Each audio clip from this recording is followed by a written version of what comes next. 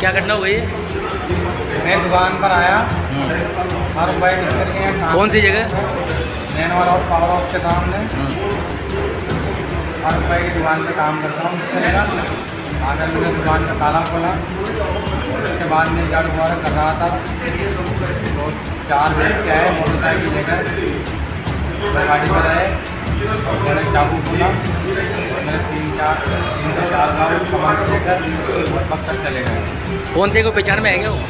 मैं कल तक जानता हूँ कोई रंजिश थी कि पुरानी कोई हेलो। मुझे कोई किसी लेन देन नहीं बिना वजह ही मारा बिना वजह